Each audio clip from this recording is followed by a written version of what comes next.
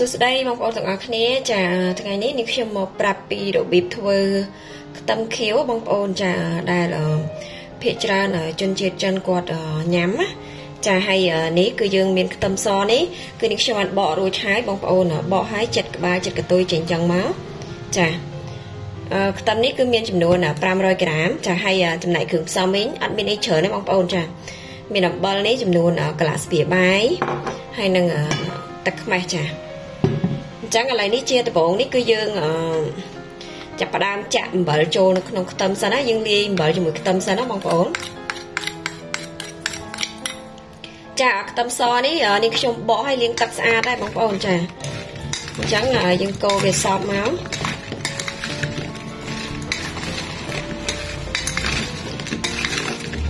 និយាយទៅខ្ទឹមខៀវនេះគឺងាយស្រួលធ្វើមែនតើបងប្អូនហើយឆាប់បានញ៉ាំទៀតណាចា បងប្អូនកូនអញ្ចឹងឲ្យសប់មក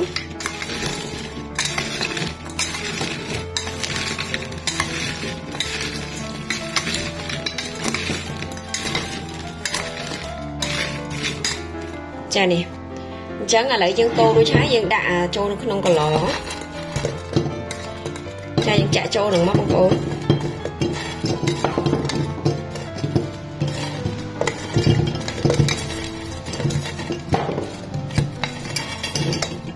មុននឹងបងប្អូនចាក់ទឹកខ្មេះចូលបងប្អូនត្រូវតាលាយអំបិលជាមួយនឹងខ្ទឹមនឹងសិនដើម្បីឲ្យវាចូលជាតិសិនណាបងប្អូនចាអូខេឥឡូវនេះរួចរាល់ហើយ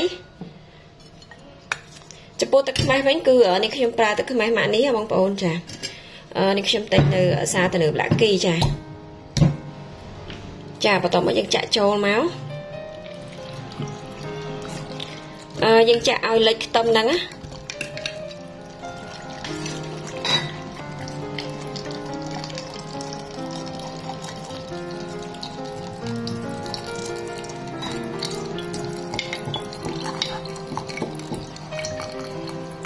ចាអូខេយើងចាក់ប៉ុណ្ណឹងមកបងប្អូនចារួចហើយយើងបិទបិទគម្របឲ្យចិត្តណាចាហើយខ្ទឹមខៀវនេះគឺយើងទុករយៈពេល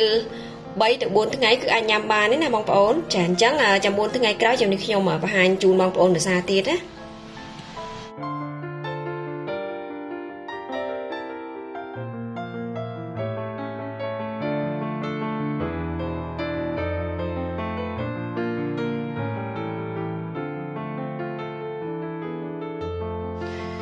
ចាសួស្តីបងប្អូនចានេះខ្ទឹមខៀវដែលនាងខ្ញុំធ្វើ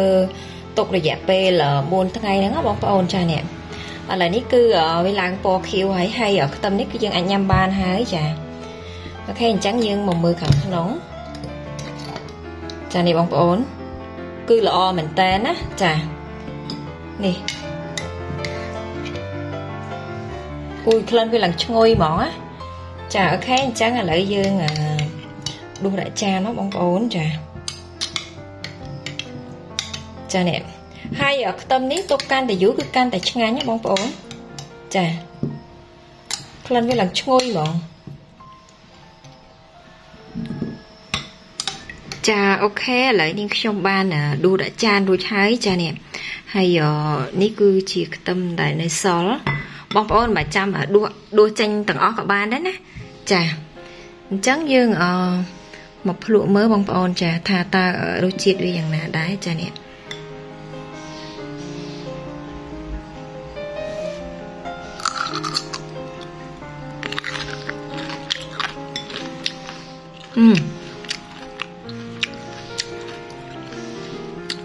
បងប្អូនល្មមឆ្ងាញ់ហ្មងហើយឡើងស្រួយហ្មងណា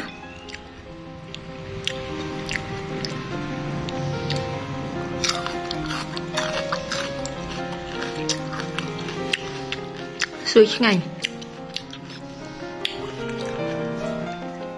ចាអូខេអញ្ចឹងឥឡូវនេះអឺ រួចរាល់ហើយហើយនាងខ្ញុំអរគុណដល់បងប្អូនដែលបានតាមដានទស្សនាវីដេអូរបស់នាងខ្ញុំចាជម្រាបលាបាយបាយ